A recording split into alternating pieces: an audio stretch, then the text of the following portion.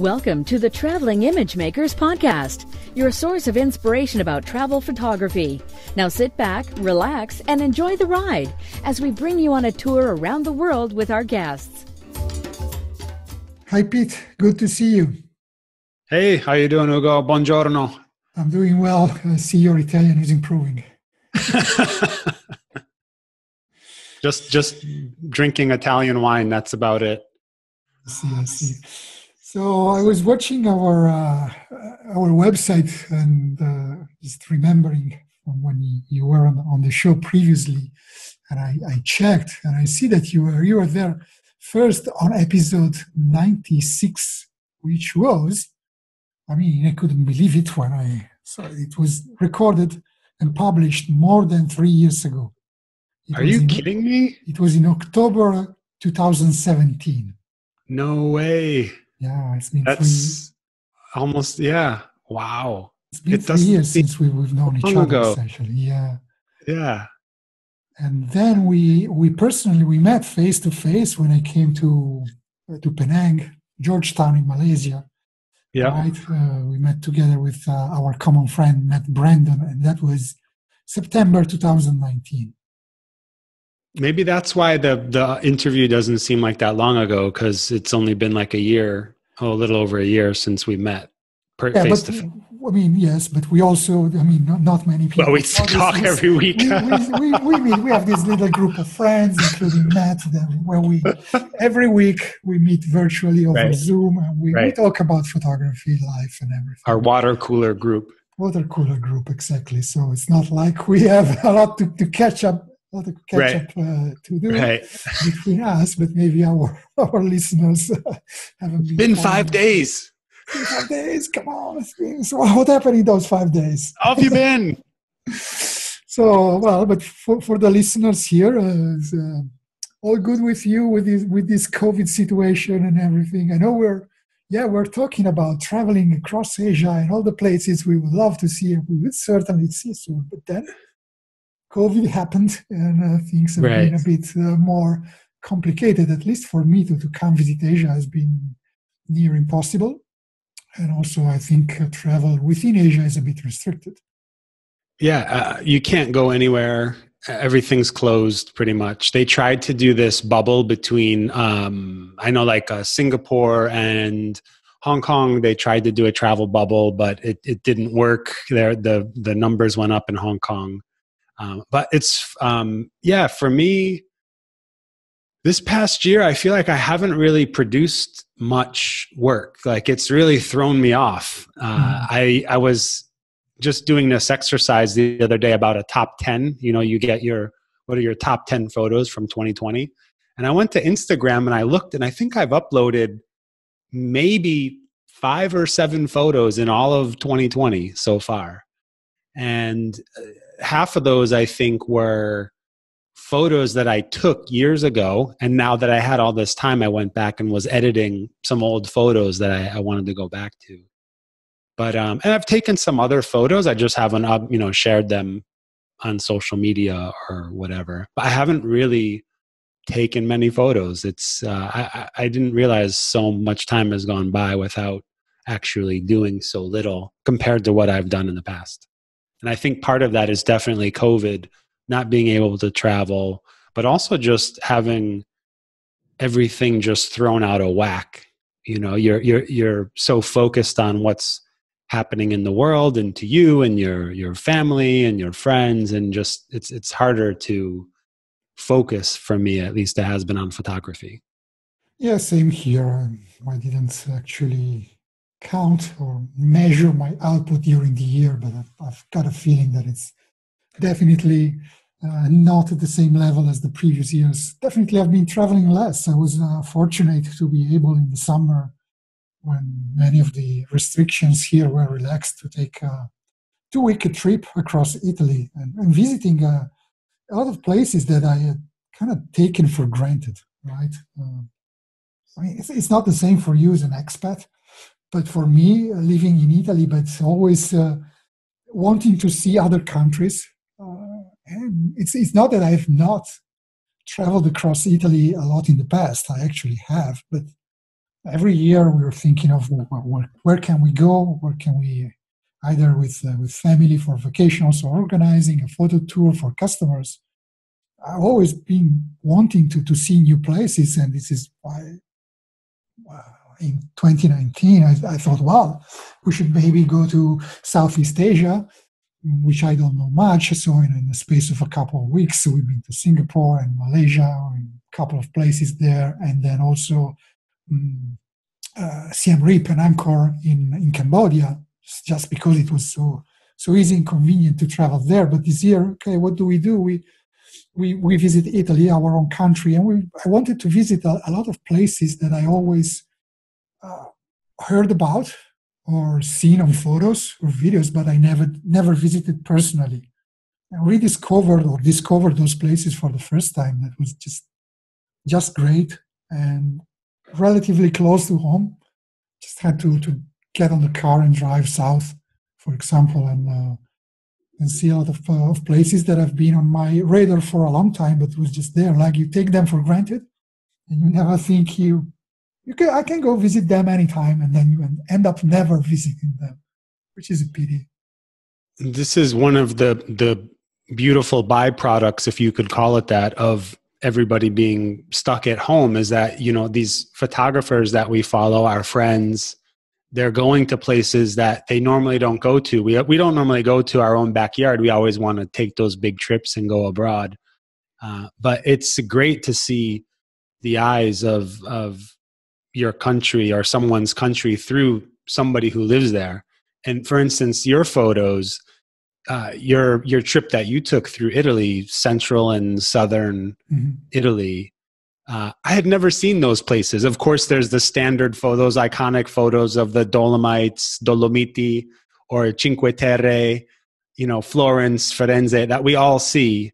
But then you had some like this castle up on the side of a mountain, uh, that colorful village, the fishing village with all mm-hmm. the colorful houses. I mean, there are things I had never seen. I, I think you even mentioned you were like, oh, I was surprised myself. Like I didn't really see those either. so it's been fun kind of exploring you know your country with you somebody who's lived there and the same that with with other photographers that i follow yeah yeah uh, so i just uh, some of the places be- became my new favorites so i need to to some of those i went there the light conditions were not great so i didn't publish any photos so now i want to go back and photograph them again hoping for for better light yeah, it's been uh, at least I was able to take that trip this year, so it's uh, it's not been completely uh, lost. yeah, it's been good. So so I had to shift my my perspective and rearrange my priorities. I mean, I was uh, hoping in, in 2020 to do a good number of photo tours uh, around the world, and I just had was able to do one. It was the the Venice Carnival workshop just before the COVID exploded in Italy. It was I was there in Venice on it was Saturday, February 23rd, I believe, when we just shut down. They shut down the Venice Carnival Hall three days before the the, the official end. I remember that you were you were with um, Arlene. Arlene. Yeah, yeah, and I remember her coming back and saying like, "I just left there and like you know, I think she was saying, do I have, you know, she wasn't sick or anything, but I mean, that was kind of the epicenter at the start in Europe, and, and she had just left there. So, yeah, she was actually, uh, she stayed in Italy longer than that because she, she had planned mm. to, to go to Florence after Venice and spend some time there, which, which she actually did, but she was kind of uh, unsure if she were ever able to, to go back to, to Canada, to her hometown because of the flights being blocked or whatever. She was until the last minute. She was not even sure she could uh, board her flight back to to Canada. Wow, it was a, a bit of a crazy crazy situation, and it's it's still crazy. I mean, we right now it's uh, it's winter here. Weather here in the in the city is not great. It's kind of gray. It's, we had a little snow, but we are having a ton of snow in the mountains and we oh, cannot really? even go skiing. I can't imagine that. All of those places must be losing so much money. Yeah. Yeah, so let, us not just talk about the COVID blues because it's been our favorite subject. Favorite subject, a bit repetitive and so on. Um, let's talk about the let's talk about the dolphins in in, in, in Venice. Venice. Yeah, that in the was, canals I mean, of for, Venice. For, for those who didn't don't get it, the, the reference when after we had our initial weeks of lockdown and Venice was empty, no tourists there, right? So and no, no boats or gondolas in, in the canals, which meant that the, the, the canals of Venice, I mean, Venice is beautiful, the, the canals are something really unique and wonderful, but there's a lot of boat traffic between public traffic, tra- public transportation in Venice is exclusive. I mean, it, in Venice, the, the old city at least, is exclusively on water. In private transportation as, as well, there are boats of all types, not just the gondolas, but uh, vaporettos and and other types of boats, like the ambulances in Venice are boats. Okay, so there's a lot of water traffic, and this water causes a lot of turbulence in the water. So the, the water in the, the Venice canals is not normally clean and transparent. It's quite muddy and green, green brown. So it's not great looking great, but when all the traffic there essentially stopped, if not for essential services, all the sand, the silt that was suspended in the water and continually agitated because of the traffic there, just settled down to the bottom, and the canals became the, the water became clear again. So you saw those videos of uh, uh, clear water in the Venice Canal with people photogra- shooting videos of fish there and, and birds which normally are not there. And then some people mounted a, a fake video of dolphins in the Venetian. Well, or actually, it was a video from dolphins in another port on a seaside town. And they say, oh, this is the, the dolphins in Venice. And some people actually believed that you could see dolphins in Venice, but that, that was well, not the case. That some people was me, and it was funny when you posted that on Facebook. I was like, oh that's really not real? And i feel like i know if something's fake or not you know like you i was like that does kind of sound real. I mean there's been otters in uh, i've seen otters in singapore. Uh, they have this like uh, otters and they walked up onto the street. They do that sometimes anyways but they got braver you know um, i was here during the lockdown and they got braver and were like in the streets mm-hmm. and they they it was like a in the newspapers yeah, so you can even when you're locked down, you can go shoot wildlife, or you could. Right. I mean, yeah, we have those videos with deer and boar coming into cities that were almost empty, so they were becoming braver. Right. So you had opportunities for shooting wildlife in a city. uh, anyway, you, you mentioned Singapore. Yes, I know you've been spending uh, some time there recently.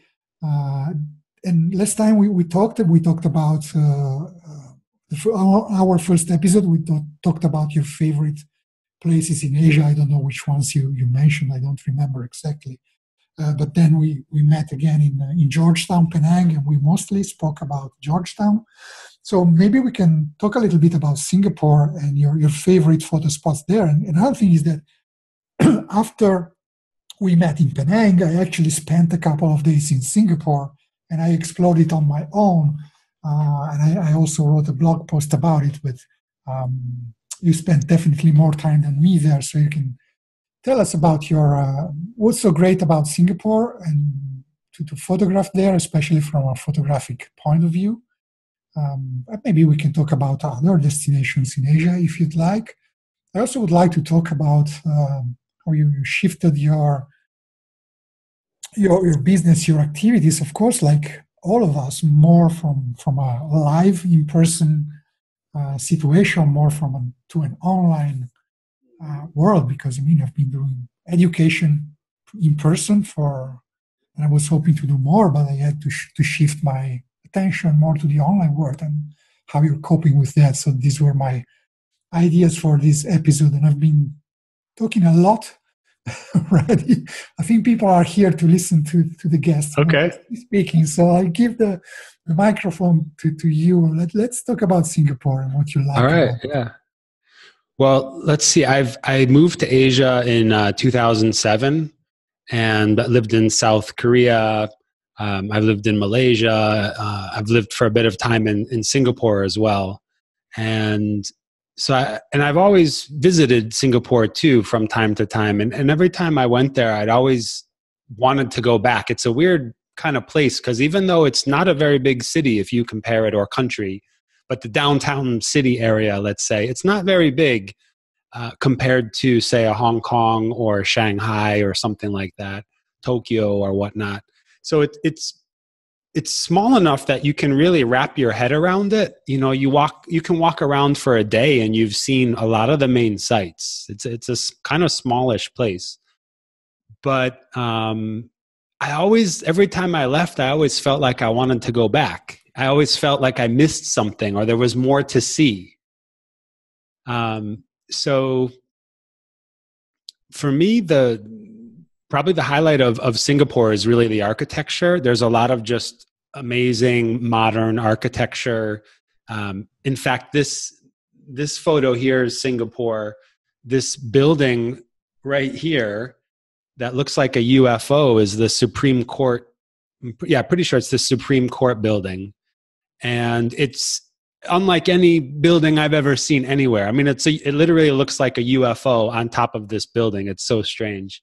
Um, this shot, by the way, is uh, it's a reflection, so it's in Photoshop. I just uh, mirrored one side to the other, but of course it's circular. So when you mirror it, the it actually looks this building looks more or less like this even as a mirror but obviously the cityscape here is is the the so mirror for, for, for, those who are only listening to the audio version of this uh, oh i forgot we're going yeah. to no that's okay we're going to put a, a copy of that photo on uh, yeah mm, uh, how do you call them the show notes that go together with yeah. these episodes at ttim.photo so uh, people will be able to see or I guess they can see them on your website. Maybe we share a link to the exact page on your website for that photo. Okay, cool. So yeah, the the Singapore um, also has. So I like a lot of street. I'm not street photography. I like a lot of architectural photography. I do a lot of night photography. I like cityscapes. I like especially modern cityscapes.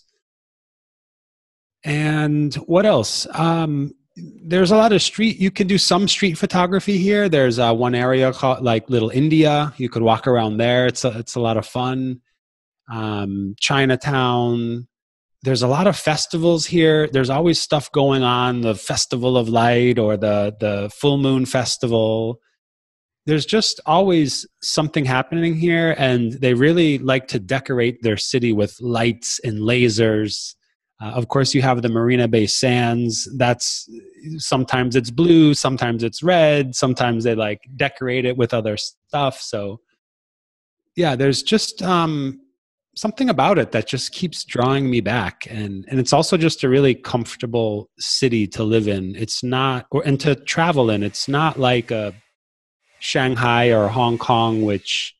Uh, you know it's just has that frenetic pace to it for me singapore feels like one big living room you know of course it has traffic and whatnot but but in general there's a lot of green spaces and a lot of places to just relax yeah i mean i've been uh, i've only been like three days in singapore and actually all if she is listening to these episodes to my friend caroline um, who used to live in Singapore. She doesn't live there anymore, but when I was there, she she showed us all the, the best places.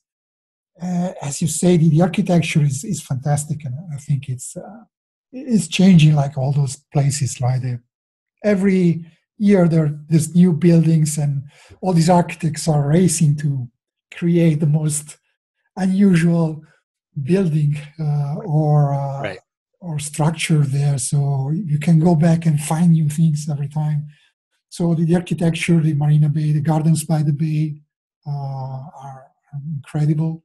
All the downtown, there's, uh, still there's little bits of pieces of the uh, old Singapore, right? You got the, the Raffles, for example, the, the Raffles Center. Right. In the middle of downtown or the, the area along the river, which is kind of a, a touristy now, right? With those uh, old warehouses that are turning to bars and restaurants and shops.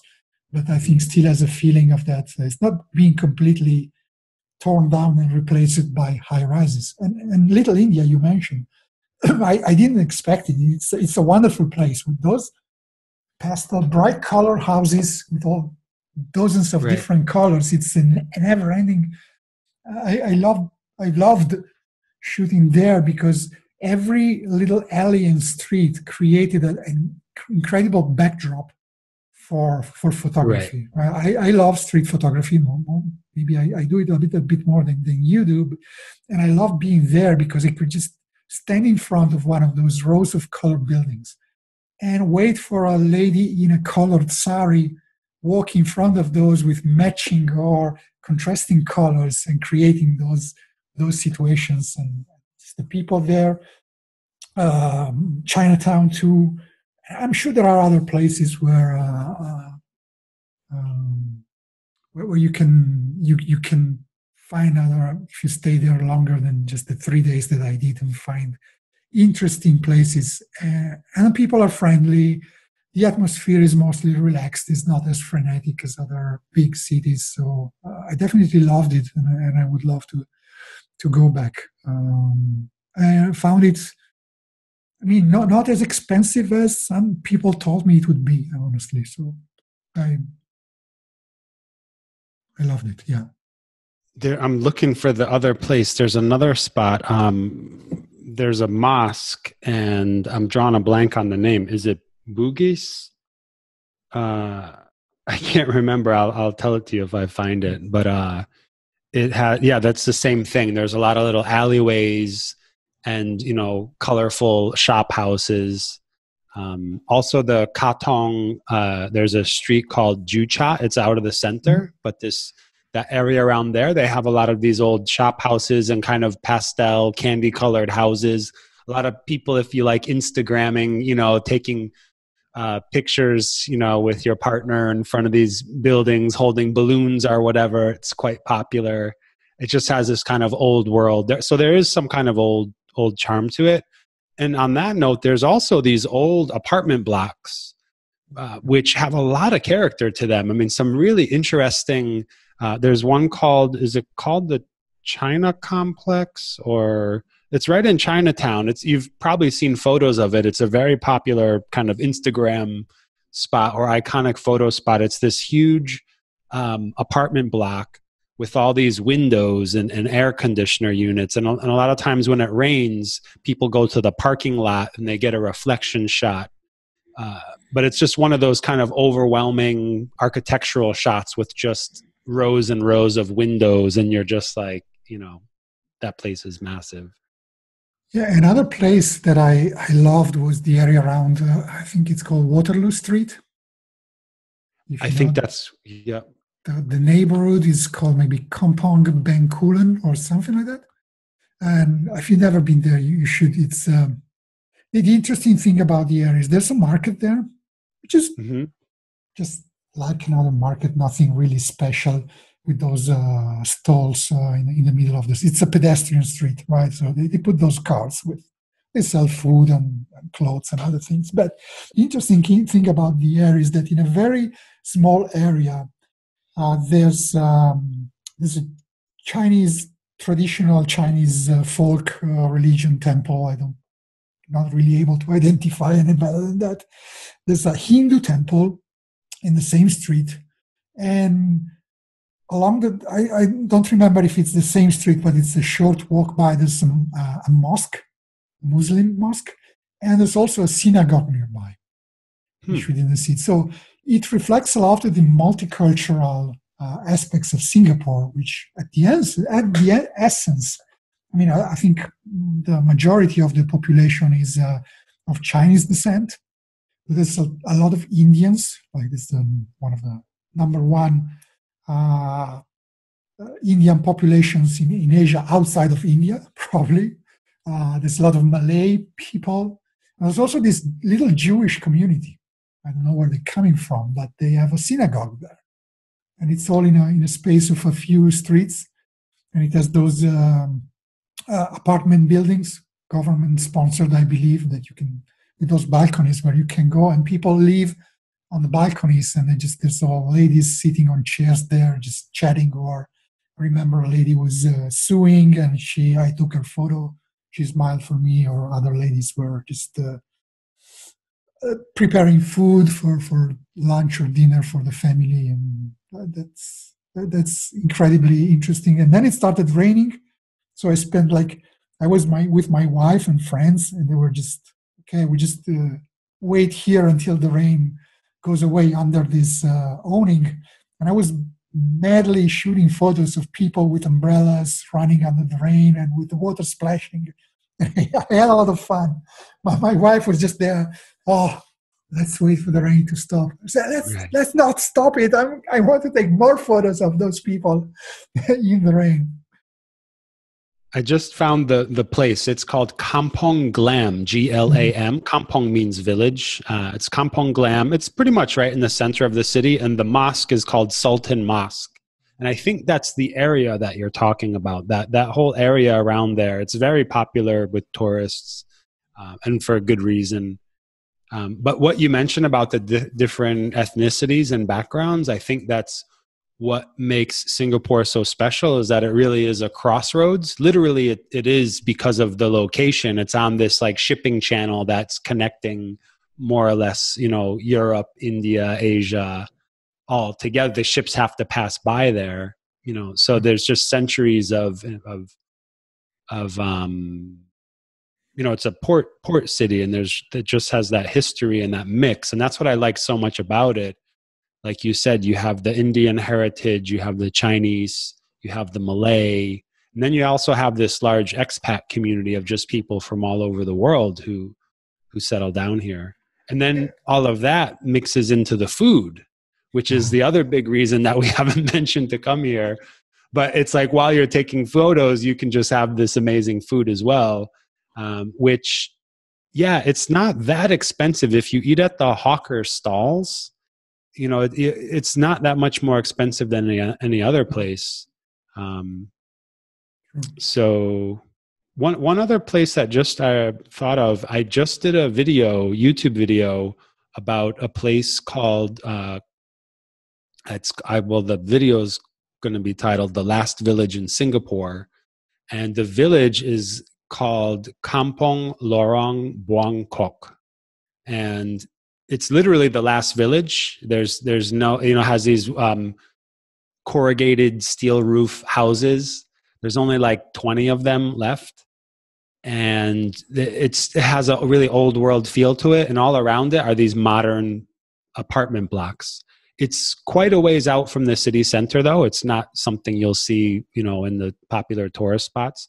But it's become very popular here with the locals because of COVID, they can't travel, so everybody's going there. Um, so there is still like a, a, lot of different things to to see, old and new here. Although the old is is quickly disappearing. Yeah, I hope they they still preserve some of it to, to give that that character. I mean, it's a uh, it's a matter of heritage, right? So absolutely, heritage. The locals talk about yeah. the locals talk about that. I mean, they there's local photographers. Um, I'm drawing a blank on the guy's name. He has one where he's photographed all these old apartment blocks, you know, before they get knocked down. Some of them are already demolished.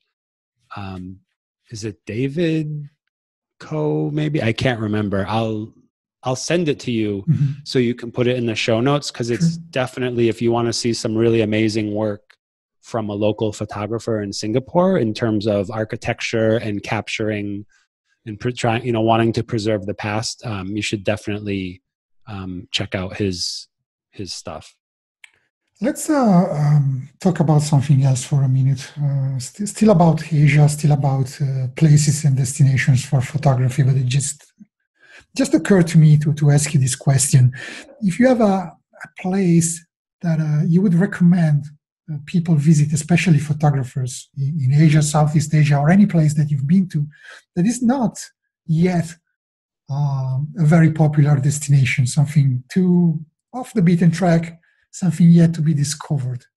I know you're putting there a bit of a spotlight there. yeah. No, no, no. Um, that's a good question. It, it feels like everything's been discovered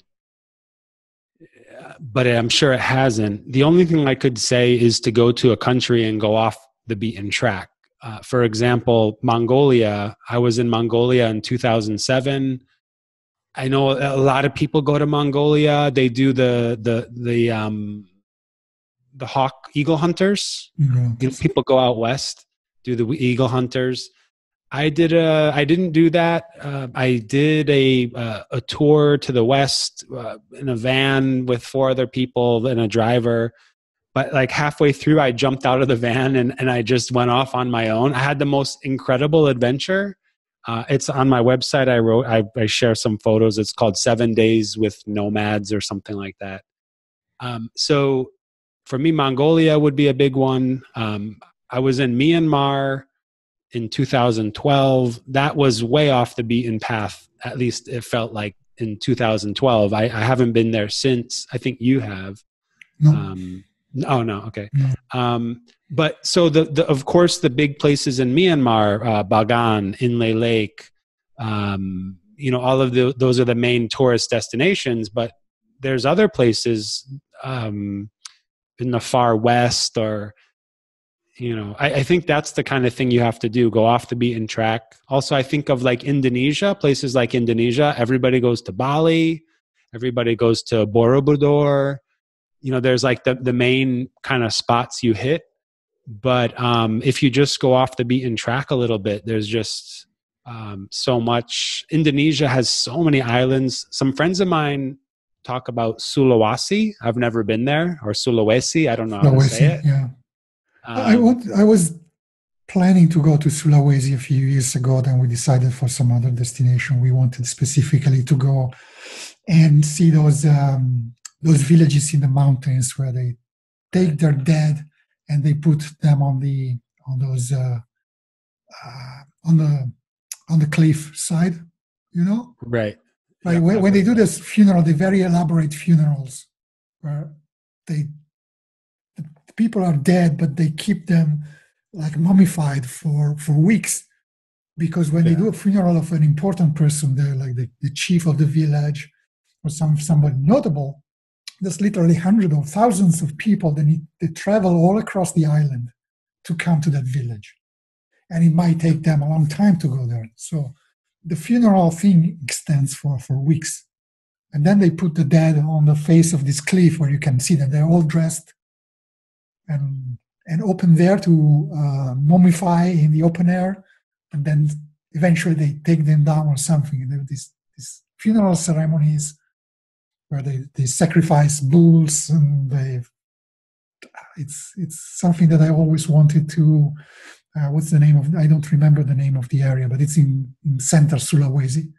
Hmm. It's become a bit touristy again. I, you know, it's, uh, how the, tourist mass tourism tourism scourge is kind of getting everywhere. So uh, I heard that you, when you get there, uh, this, those streets are full of uh, hawker stalls where they sell kind of things, trinkets and whatever, which are probably made anywhere but but there. But still, uh, those ceremonies are are the real thing, and there are probably villages in the mountains there that have not yet been discovered. So, yeah, Sulawesi would be great to go. yeah i think everything i mean everything has been discovered. I mean with the internet everybody traveling social media everybody's been going everywhere. But one thing i think about is you know I mostly travel for photography. Like you see a photo and you like see some place and you're like i want to photograph that. And you travel to take a picture of that place and in the past when i got started like when i did this trip in mongolia i traveled because I wanted to travel, and then I took photos to document my trip. And I didn't really go there. I, I, was just getting into photography. This was 2007, and so I, I wasn't, you know, looking for the epic locations and like, oh, I got to go there and I got, I'm going to get the shot. It was just went there, and then whatever happened unfolded. And I think we kind of lost that way of travel. We're so focused on, you know, social media and you know you, also you just you want to take those photos those kind of iconic photos. So but really it's like well what's undiscovered? It's like you have to just pick some place and, and go there. Um, i'm not against traveling to shoot or photograph icons. I do it myself but there's always a part of me that it's like i kind of have to remind myself hey what if i just go to some place and see what happens in addition to doing the other stuff so. yeah it's, it's a bit what I was saying before, like I did this summer in Italy, right? Going wanted to visit some iconic places that exactly. I've been to, but right, so many so many places along the road from point A to point yep. B that, I mean, especially in Italy, it's uh, sometimes I see photos of my fellow Italian photographers, and I see a castle atop a hill, and it's beautiful, and I, I have no idea where it is. I have to ask because I've never. There are thousands. I don't know how many castles we have in Italy, but it's thousands, literally. And there's always some someone I have not seen, and I see it, and I see it's beautiful and it's beautifully preserved, and I wonder where is that? And I have to ask, right. and I, now I want to visit it. And I, you can just find it on uh, going from from one place to another one.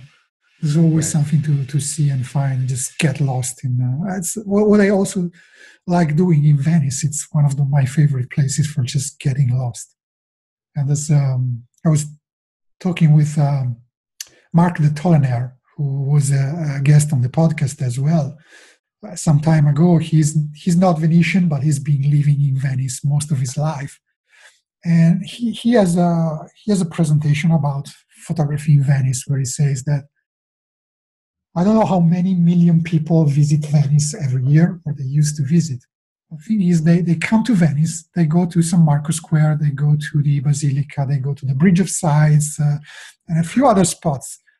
And you go there and there's a million people congregated there. But you just walk a little bit further out from those areas and there are wonderful corners that still preserve that uh, feel of the old Venice. And there are very few tourists there. So you can just, in getting lost in Venice is incredibly easy because their directions are hard to follow.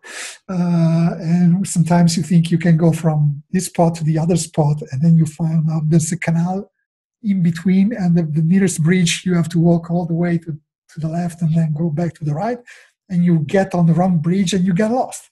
I always get lost in Venice, but the fun thing is it's rewarding to get lost there because you discover new things. And when you want to find your way back, there are signs on the on the corners, most intersections that says this way to San Marco or this way to Rialto. So in the end, it's, you will find your way. And it's also an adventure because you don't know what what you're going to stumble on. You don't know what to expect. You're not exactly even sure where you're going. And so the photographs that you take along the way, if you do get a great shot, I think it's more memorable. And even if you don't get a great shot, you have a wonderful experience.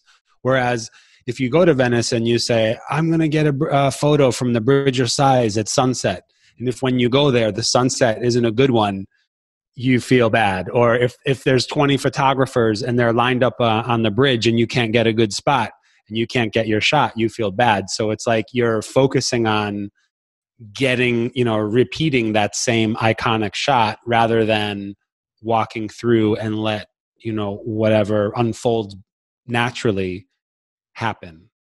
Yeah, and just to be honest, I mean, I've got nothing against the iconic shot. And if you go to a place for the first time, why not try to, to get? Because there's a reason why some spots are iconic. It's because they're sure. beautiful. I mean, I could, I how could I say anything against iconic shot when I'm recording this video and in my back there's a photo I took in Japan of the famous Chureito Pagoda and if I move myself you can see the top of Mount Fuji there.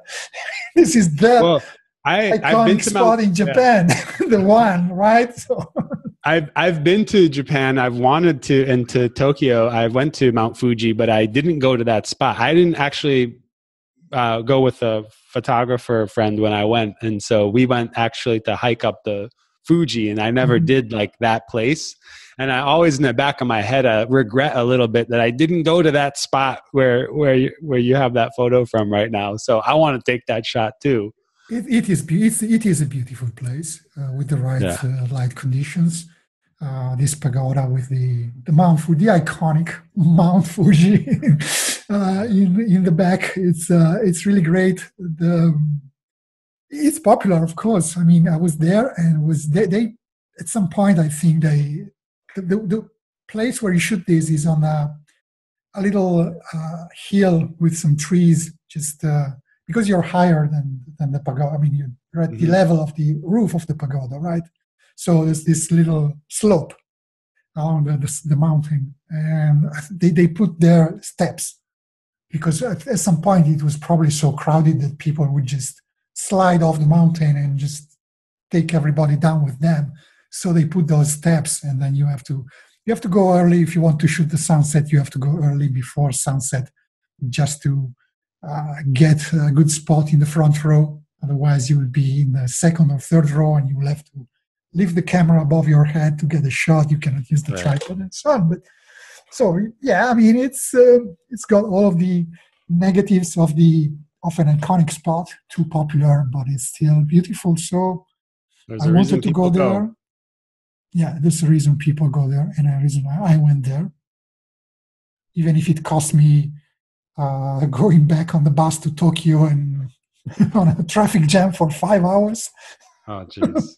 Yeah, I should have taken. It takes about two hours on the bus to go to there from Tokyo, but on the way back, it was I think it was a Sunday, and like everybody had gone to the lakes to spend the weekend there. And then everybody Sunday night was going back to Tokyo, and all everybody on the same highway. So it took us five hours. oh. Yeah. Anyway, fun stories. I wish I could go back to Japan as well. Um, so let, us talk about.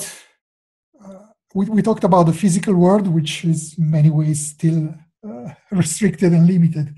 I wanted to talk about the virtual world for for a moment because, like, uh, we are shifting our perspective, moving from uh, doing things in person, in locations, and so on, photographing or doing workshops, tours, whatever, to doing them more and more online. It's not like we were not doing that before, but many people realize this is the only way I can still do things, still teach people, still do education and workshops and so on. So uh, here you've been expanding in that direction a, little bit. So can you can you tell us what, what you're doing there? I mean, I would love to give you a little of uh, um, spread the word about what you're doing. I know you've got a, a community there, which is interesting, right? Not a lot of people like me. We do webinars, courses, and workshops, but you also have a, a community going on. So, can you talk, tell us about that? Yeah. So, about a year and a half ago, before COVID, I, I actually started moving uh, more online. I tried, we, so we set up a tour in Hong Kong and then the, we filled the tour and then there was a the protests in hong kong and so we had to cancel the tour. And so i was like oh this is not good because you know what's happening in these other countries can also affect whether or not you can run your tours. And then after that we said hey let's do a tour in a place that will never get canceled. Let's do one in provence in the the, the fields of provence. And then after that of uh, COVID hit, and and we filled that tour, and then we had to cancel it. And so, as all that was happening, or even before that, I was kind of looking at a way to create a kind of online community and and school. Uh, I've run online communities before, like Facebook communities. Uh, when I was in South Korea, I started one in in Busan, South Korea, where I lived. And we did meetups and had contests and, and just made a lot of friends, had a blast. And I just love the community aspect of photography. And so yeah, a year ago last summer, I started the creative uh, creative collective for outdoor photographers, and like I said, it's a it's a community as well as a, a school where people can learn how to do uh, photography, outdoor photography, mainly landscapes and cityscapes, night photography, and so on. And where can people find yeah. find that? Do you have a Oh, if they go to either my website, thenomadwithin.com, um, or also landscape landscapes with Pete or landscapepete.com. You can also find it there. Okay. Um, so there's there's we'll put a link in the show notes for yeah. people who are listening and just want to go there now. Okay. So yeah, there's um inside the the community uh, or the collective there is we do uh, challenges like monthly challenges, photo challenges. There's also workshops. So we have uh, guest experts come in and, and talk and teach. Uh, I also do some teaching. Also, I do um, a live Q and A session twice a month. So if if anyone has any questions or whatnot, or they just want to talk about photography, there there's an opportunity for that as well. And if people want to get feedback on their photos, that's another thing. We you know if you want an image critique or something like that, you can also get that. How many members you have? Right now, there's about 20 members. Mhm. And you manage it all yourself. Manage it by myself. Yeah. So you, you always have to be available for questions and so. It's Well, it's not like um it's not like a 24/7 thing. It's usually Mhm. in the morning when I wake up, I'll check in and then in the evening, you know, or, or midday I'll, I'll check in as well. So it's not something and it's it's something I enjoy doing. The the reason I did it is initially when I so I used to teach English at a university in South Korea. I did that for almost 11 years or 11 years.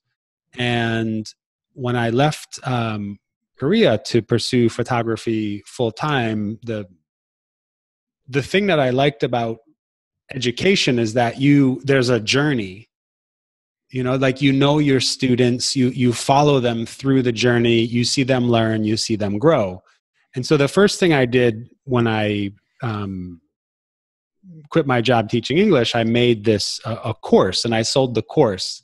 But after selling the course, it's like you make the course, but you you make it alone.